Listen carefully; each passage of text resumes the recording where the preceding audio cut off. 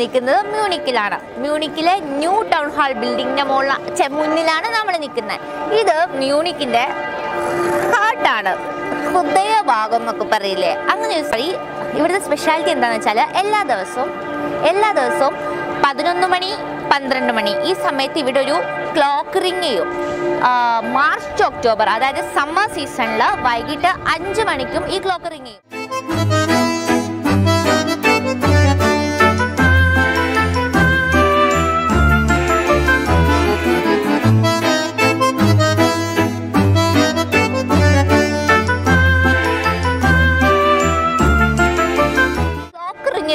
ഭയങ്കര പ്രത്യേകതകളുണ്ട്. ഈ സമയത്ത് ഇവർ ഈ മ്യൂണിക്കിലെ പല ഇമ്പോർട്ടന്റ് കാര്യങ്ങളും എന്താ ഇമ്പോർട്ടന്റ് കാര്യങ്ങളുടെയും ഒരു ഷോ ഇവിടെ ഉണ്ട് അതിൽ വളരെ ഇമ്പോർട്ടന്റ് ആയ ഒന്നാണ് ഇവിടുത്തെ ഡ്യൂക്ക് വില്യം അല്ലേ? ഇവിടുത്തെ ഡ്യൂക്ക് വില്യം അഞ്ചാമന്റെ കല്യാണ പരിപാടികളൊക്കെ. അപ്പം നമുക്ക് മനയടിക്കുന്ന നോക്കാം.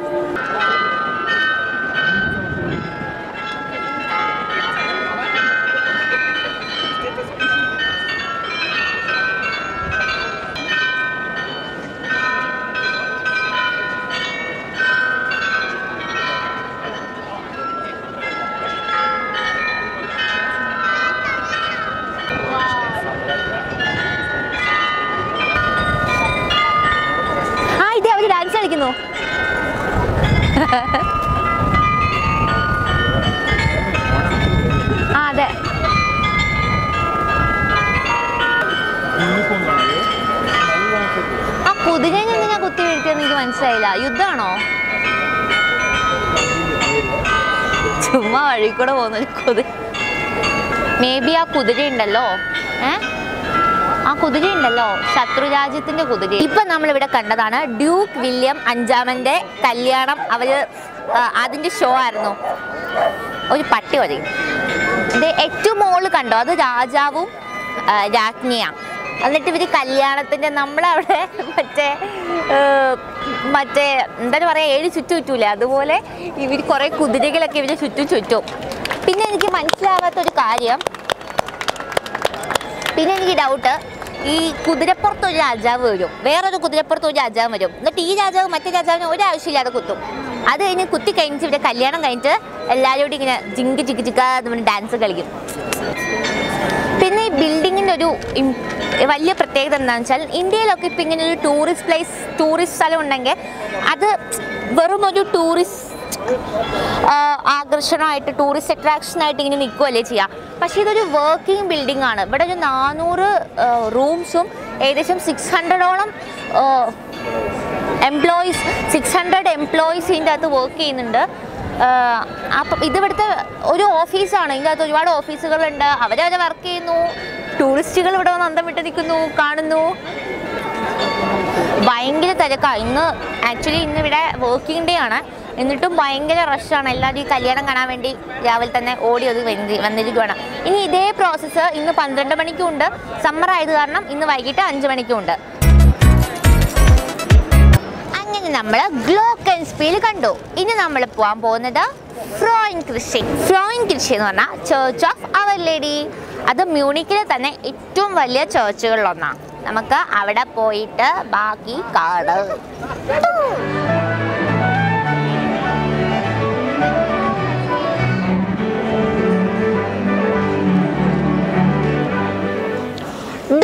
അങ്ങനെ നമ്മൾ ഫ്രോയിൻ കിർഷയുടെ മുന്നിലെത്തി.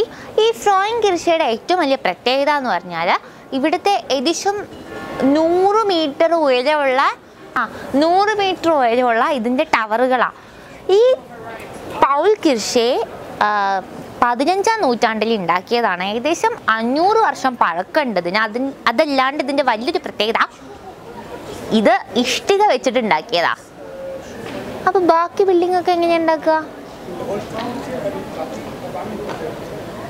ആ ഇത് ഇഷ്ടിക വെച്ചുണ്ടാക്കിയതാണ്. പിന്നെ ഇതിന്റെ അകത്ത് ഒരു ടൈം ഏകദേശം ഇരുപതിനായിരം പേർക്ക് ഇതിന്റെ അകത്ത് നിൽക്കാം. ആ ഇതിന്റെ അകത്ത് ഒരു സർപ്രൈസ് കൂടി ഉണ്ട്. അവിടെ എത്തിയിട്ട് നോക്കാം. ബാ അങ്ങനെ നമ്മളിപ്പോൾ ഫ്രൗൺ കിർഷയുടെ അകത്താണ്. നോക്ക് എന്ത് ബ്യൂട്ടിഫുൾ ചേർച്ചാണ് ഇത് ആയിരത്തി നാനൂറ്റി അറുപത്തെട്ടിൽ ജോർജ് വോൺ ഹാഷ്പെൽ അല്ലേ?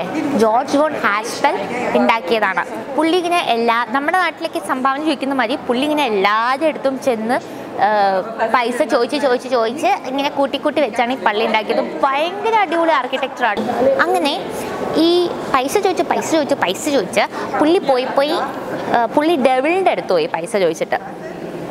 അപ്പോൾ ഡെവിൾ പറഞ്ഞു ഞാൻ പൈസ ഞാൻ ഡബിൾ അന്ന് ഡെവിൾ അന്നത്തെ ഇവിടുത്തെ മറ്റേ റിച്ച് ആയിരുന്നു അതിന് ഡബിൾ പറഞ്ഞു പൈസയൊക്കെ ഞാൻ തരാം ഒന്നും കൊണ്ട് വിഷമിക്കണ്ട ശരി കണ്ടീഷൻ ഉണ്ട്.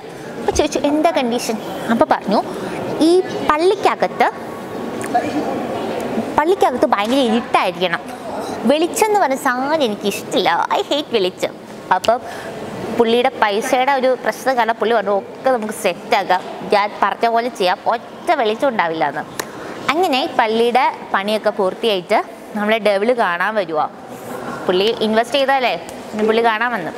പുള്ളി കാണാൻ വന്നപ്പോൾ പുറത്തുനിന്ന് നോക്കിയപ്പോൾ പുള്ളിക്ക് ഭയങ്കര സന്തോഷമായി പുള്ളി വാസ് വെരി ഹാപ്പി കാരണം ഒരു ജനലും ഇല്ല വിൻഡോ ഒന്നും ഇല്ല അപ്പോൾ പിന്നെ വെളിച്ചവും ഇല്ലല്ലോ. അങ്ങനെ പുള്ളി ഇങ്ങനെ സന്തോഷിച്ചിരിക്കുവായിരുന്നു. അങ്ങനെ പുള്ളി ഭയങ്കര എക്സൈറ്റഡ് ആയിട്ട് പള്ളിക്ക് അകത്ത് കയറി. അങ്ങനെ ഇതിന്റെ അകത്ത് കയറിയപ്പോഴാണ് പുള്ളിക്ക് മനസ്സിലായത്. നമ്മൾ ആർക്കിടെക്റ്റിന്റെ ഒരു ഐഡിയ ആയിരുന്നു. കുറേ ഇങ്ങനത്തെ വലിയ വലിയ കണ്ട വലിയ വലിയ തൂണുകൾ വെച്ചിട്ട് ഈ വിൻഡോസ് മൂപ്പനങ്ങ് മറച്ചു. മൂപ്പറ്റ് വിചാരിച്ചില്ല നമ്മളെ ഡെവിൾ ഇത്രയും ആക്രാന്തം പിടിച്ചിന്റെ അകത്തോട്ട് വരുന്നു. അങ്ങനെ വിൻഡോ കണ്ട ഡെവിൾ. അങ്ങനെ കലിപ്പ് മൂത്തിട്ട് അറായ ഡെവിൾ ഇവിടെ ഒറ്റ ചോട്ട്. കേട്ടോ ഇതാണ് ഡെവിൾസിന്റെ കാൽ ഡെവിൾ കാൽ ഡെവിൾസ് കാൽപ്പാട്. ഇവിടെ നമ്മൾ കാണുന്നത് ഇവിടുത്തെ ഒരു രാജാവായ ലുഡ്വിക് ദ ബവേറിയൻ. അത് ആ പേര് വന്നതെന്ന് അറിയില്ല. ഈ സ്റ്റേറ്റിന്റെ പേര് ബവേറിയാണ്. ഇവിടുത്തെ രാജാവ് എന്നുള്ളതുകൊണ്ടായിരിക്കും. ലുഡ്വിക് ദ ബവേറിയൻ പുള്ളിയുടെ ടൂമ്പാണ്. ഇത് ഉണ്ടാക്കിയിരിക്കുന്നത് ബ്ലാക്ക് മാർബിൾ കൊണ്ടാണ് അതിൽ കുറേ ഫിഗേഴ്സ് ഒക്കെ ഉണ്ട്. അത് ബ്രോൺസ് ഫിഗേഴ്സ് ആണ്. സംഭവം ഇത് പുള്ളിയുടെ ടൂമ്പൊക്കെ ആണെങ്കിലും വേറെ നല്ല ഭംഗി എനിക്ക് ഇഷ്ടപ്പെട്ട് ഇതിൽ നിൽക്കുന്ന ആൾക്കാരൊക്കെ ഭയങ്കര എക്സ്പ്രഷൻ കിങ്സ് ആട്ടോ. ഈ അപ്പൂപ്പനെ കണ്ട നമ്മളെ കട്ടപ്പ നിൽക്കുന്ന പോലെ. മോന്ത നോക്കിയേ.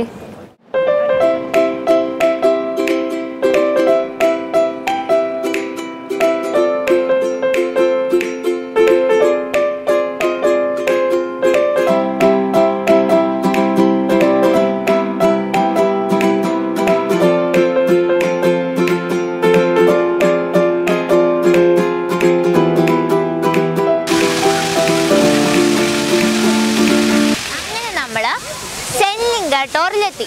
സെൻലിംഗ ടോറിൽ ഒരു പ്രധാന അട്രാക്ഷനാണ് ഈ ഫൗണ്ടെയിൻ ഇത് ആയിരത്തി തൊള്ളായിരത്തി എഴുപത്തി രണ്ടിൽ ഉണ്ടാക്കിയതാണ് ഇത് ആക്ച്വലി ആറ് ഫൗണ്ടെയിനാണ് അഞ്ചെണ്ണവും അതിന്റെ നടുവിലൊന്നും നല്ല രസമുണ്ട് ഇവിടെ നിൽക്കാം. ഞാനിങ്ങനെ അഞ്ചോണ്ടിരിക്കുക ഇത് അത്യാവശ്യം നല്ല ഹൈറ്റിലുള്ള ഒരു ഫൗണ്ടെയിനാണ് ഇവിടെ പിള്ളേരൊക്കെ കളിക്കുന്നുണ്ടായിരുന്നു. പിന്നെ സെൻലിംഗട്ടോണിന്റെ വേറൊരു പ്രത്യേകത എന്ന് പറഞ്ഞാൽ മ്യൂണിക്കിലെ പ്രിസർവ് ചെയ്ത് വെച്ചിരിക്കുന്ന മൂന്ന് സിറ്റി ഗേറ്റ്സിൽ ഒന്നുള്ളത് ഈ സെന്റ് ലിംഗ ടോറിലാണ്. നമ്മൾ നേരത്തെ ചേർച്ചിൽ പോയപ്പോൾ ടൂമ്പ് കണ്ടില്ലേ? ലുഡ്വിക് ഓഫ് ബവേറിയയുടെ പുള്ളിയാണ് ഈ സെന്റ് ലിംഗ ടോറ് ഈ ടൗൺ ഉണ്ട് ദോണ്ടെ ദതാണ് ഇവർ പ്രിസർവ് ചെയ്ത് വെച്ചേക്കുന്ന സിറ്റി ഗേറ്റ്സ്